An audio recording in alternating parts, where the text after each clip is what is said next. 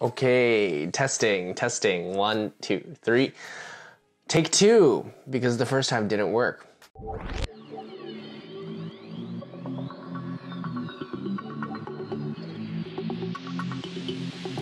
Hey, what's up, you guys? It's your boy Kelvin here, and today we are back together again here on YouTube. It's been a while. And today's video is not about me giving you guys or telling you my excuses as to where I've been, why I've been so busy, but much rather to show you my excuses in a what did COVID do to me video, uh, basically uh, a life update and what I've been doing since March 2020, which was when Toronto, the city that I'm from, uh, went into lockdown. Uh, at the beginning, especially, I was quite motivated to really try to make the most of my uh, quarantine experience. I my mentality was if I'm gonna be stuck inside, I'm gonna try to really maximize what I can do just to just to see like by the end of let's say 10 months of doing this, like what would I have accomplished. And and I sit before you today talking to you what I have done in the past 10 months. And I would say I'm pretty, uh, I'm, I'm, I'm, pretty proud of what I've been able to achieve. So luckily, I would say uh, I didn't have any major health issues. People around me didn't have any major health issues. Um, all relatively healthy. So that was a big, um, big fortune. Uh, and then I also luckily had uh, friends uh, and still people that I got to see to keep me sane.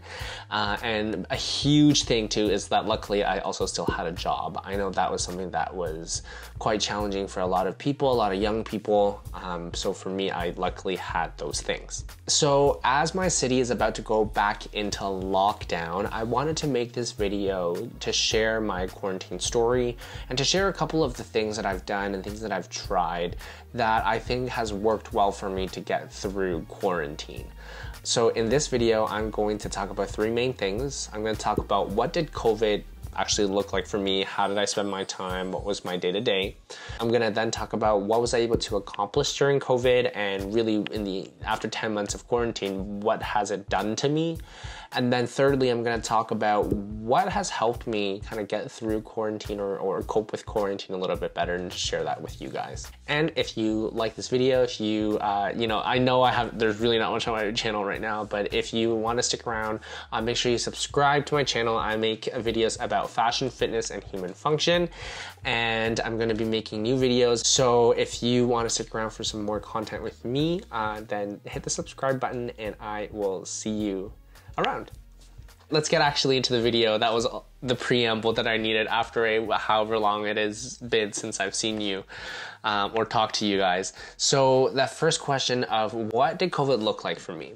So like I said, I was uh, I, I was still employed, so I was still working full time, but I was also full time in school. I was doing a master's in digital media, so school was virtual. I was conducting a research study. So if I wasn't working or in school or trying to cook, then I would be working out. I was working out four to five times a week. I made that a big goal for me to stay physically active at least every other day.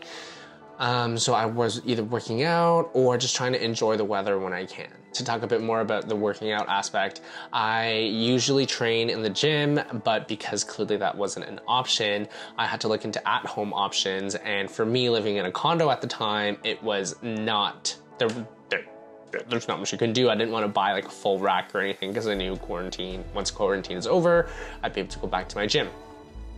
Um, so things that I bought, I got a pull-up bar, I got resistance bands, and then I also made makeshift weights by using uh, protein tubs that I filled with water and then put in plastic bags. Uh, and I just used that because I was desperate and that's all I got. I did a lot of body weight exercises. I had to try new things that I didn't do before. So for example, like handstand presses, um, if that's what they're called, against the wall.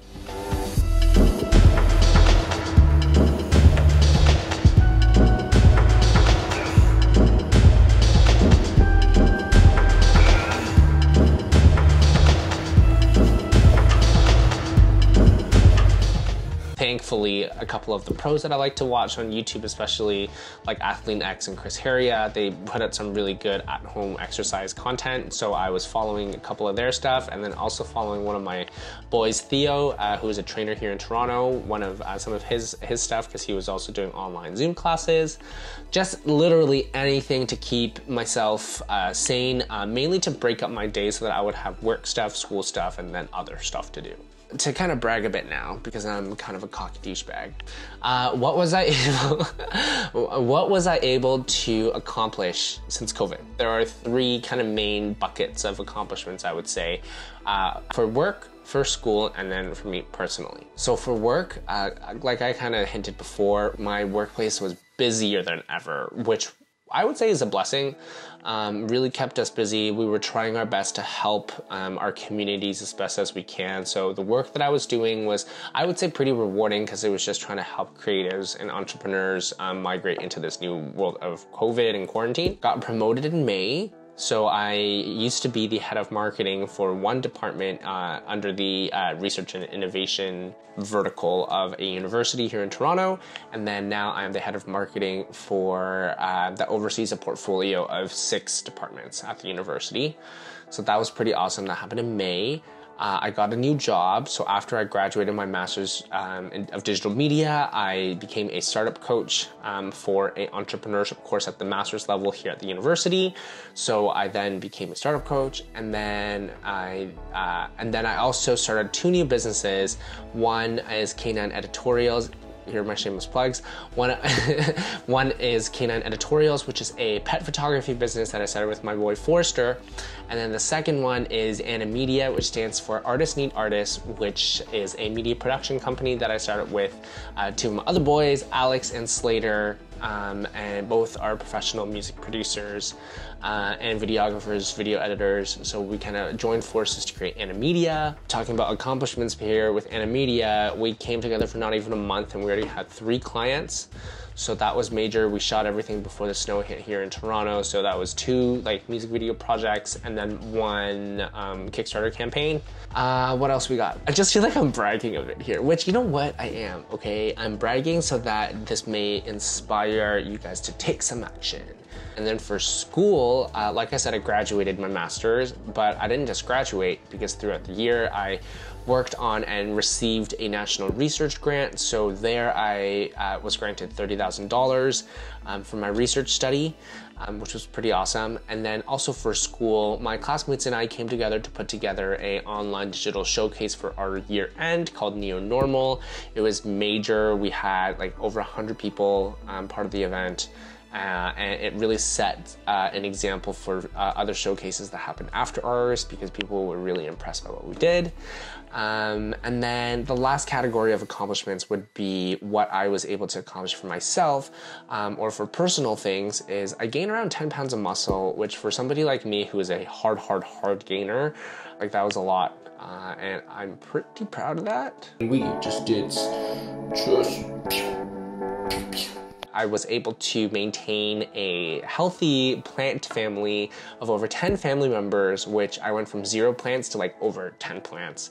Um, everybody's alive. Uh, I picked up my painting and art um, hobbies again. I also spent some time outside. Uh, I went camping like five, six times because that was one of the only things you could do. Oh, and I also learned how to cook more because I had to cook for myself. And I was actually able to make something on one of our uh, cottage trips this summer where my friends ate and actually said it was good. Summary points here as to talking about like what COVID and quarantine did to me. One, it really made me take ownership of my time. The excuse of I don't have enough time kind of doesn't work when you're just stuck inside and all you have is time. So it really made me motivated and really made me um, have the opportunity to make sure I'm going full throttle as much as I can to do all these things that I wanted to do. It also made me really uh, miss my friends and family uh, and really made me appreciate hanging out with them once I could. Uh, I'm once, uh, you know, in the very beginning, the first two, three months, I literally saw like none of them. And then in when the rules started loosening, we started seeing each other again. And then our Friday, Saturday uh, hangouts have literally become like the highlights of my week.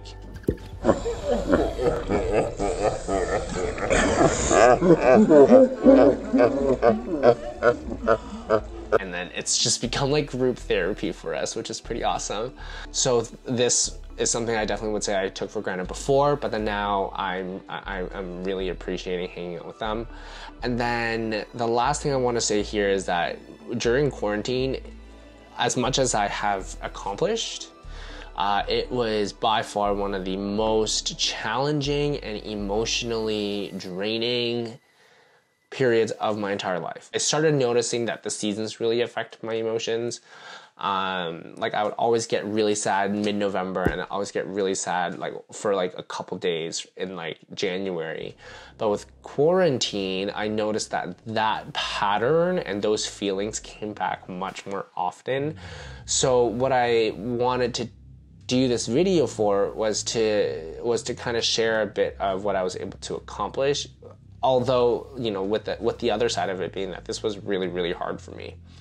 I was like i said living alone for the most part. So it's just me and maybe like 12 walls. So yeah it was really hard on my mental health. Uh, the the those periods really came back every now and then, and it was just hard because you didn't have the usual things that could give you those spikes of happiness. Like you couldn't go and watch a movie, you can't hang out with your friends, so a lot of times it was just like down here, and I it was really hard. So the last question I want to speak to is what are some things that I've tried that has helped me deal with the quarantine and deal with uh, some of this sadness. So one thing is uh, that I started doing things or, or really refocusing on doing certain things that have nothing to do with anything besides the fact that it makes me happy. So that painting thing that I was talking about was one of those things that has really made me happy on the days that I would feel really sad. Another thing is try to really plan goals for yourself, but plan achievable goals that you can uh, work on in quarantine. It, it is really easy to just be at home and potato and watch Netflix. If that's one of your goals and you want to watch all the Netflix that you can, great. But what I'm trying to push here is maybe you want to strive for a bit more. Maybe you want to do this thing that you've never done before. Maybe you want to read that book that you've always wanted to read. Whatever these goals that you want to achieve are, like put them out there uh, and and work towards them so that you're actually progressing even if you're just stuck inside. And then three is uh, if you can talk about your feelings with people that you trust. For example my friend group and i like i said it's become group therapy when we hang out and more recently the topic of mental health has surfaced like we're all suffering and it's something that like these are kids that i've known for like 10 years over 10 years and like this is probably the first time we've really talked about our feelings about anxiety and work stress and all of that. Um, not to say that we didn't talk about work stress before but like we we kind of became a little bit more open about our feelings and it really has been really nice. Um, so yeah try to find people that you can actually talk about your feelings with and that you're comfortable with doing that that is kind of it as to what COVID did to me.